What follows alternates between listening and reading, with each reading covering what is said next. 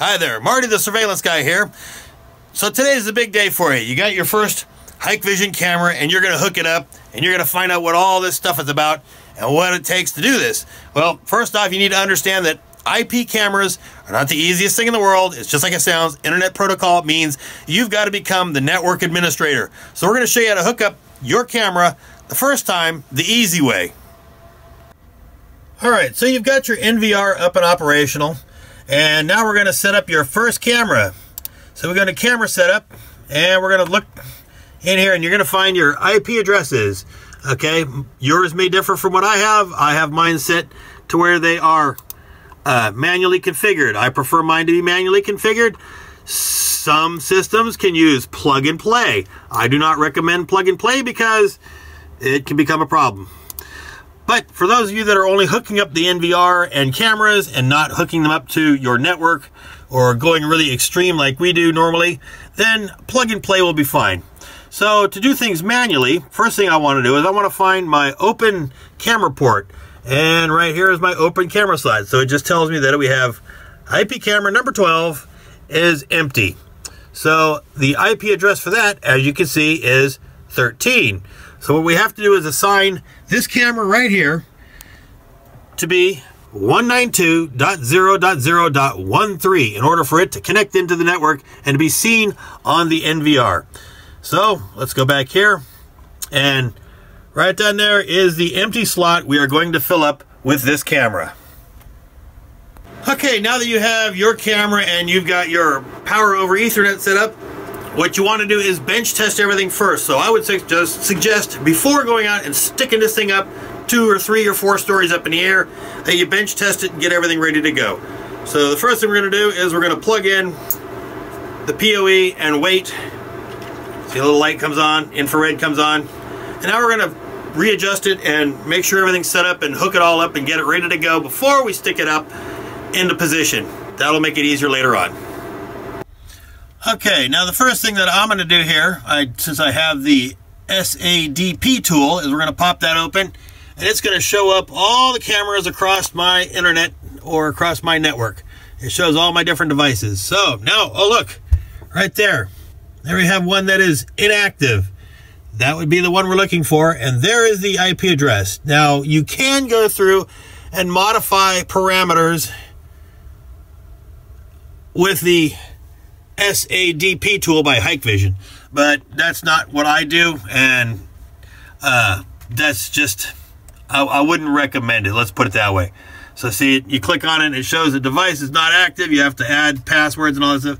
So let's go through and do it the, the way I normally do it. So we'll go ahead and close this out. Pop open a good old-fashioned Internet Explorer. And that is the stock address. Now, the first thing that it's going to do, it's going to pop up this thing here that tells you put in a password. Now, when you put in your password, for God's sake, make sure you put in the right password the first time and write down the damn password. Because you don't want to have to go back to Hikvision and go, I forgot my password. So I suggest something simple and easy. Okay, that's And there's my new password. It shows it comes up. They're always going to be weak or mid, depending on how elaborate you want to go. But since if you're behind a firewall, passwords really aren't too big of a deal. You don't have to worry about it. If you're behind a if you're behind the firewall, if you're going to expose the camera to the internet, then I would suggest using a good strong password. But write it down. Okay, so now we tell it, okay, now we have my password saved, my admin password. So all I have to do now is go up here to configure. And since I already know what the information over here is on the NVR, let's go back to that. We're going to go to camera setup. And we know that the camera number that we're looking for is right here, 192.00.13. That's where we're going to be. That's the number we need. So all we need to know out of this is let's go to system configuration and we're going to look at our network to make sure what our subnet mask is 255 255 00. okay everything's good looks good there okay so we're going to go back over here to our camera and we're going to go to network and we're gonna tell it what what are we gonna what are we gonna use for the IP address there all right we got IP version 4 so that's 192.0.0. what one three was it 13 that's a 13 there let's double triple check uh blah blah blah. Go back here one more time. Set up cameras and look at that.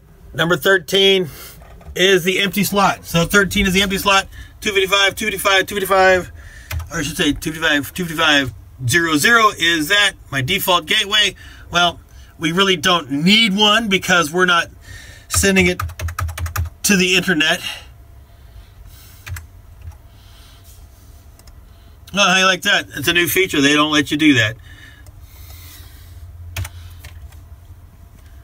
Huh, but you can just delete it and call it good. So, okay. Uh, we do not want DHCP because we do not want to auto assign that IP address because if you auto assign the IP address you're going to lose the camera in your network forever and ever so I would suggest just going manual IP addresses okay got our you really don't need to have the preferred DNS server because it's not being exposed to the internet so now we've got our IP address set up there there's the IP address and our subnet mask. It's all ready to go.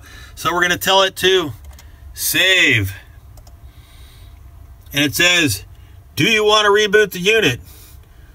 I'll tell it okay. So now that we're rebooting the unit, the IP address up here is no longer going to be valid. So you're going to have to chase it over to the new IP address in order to see it.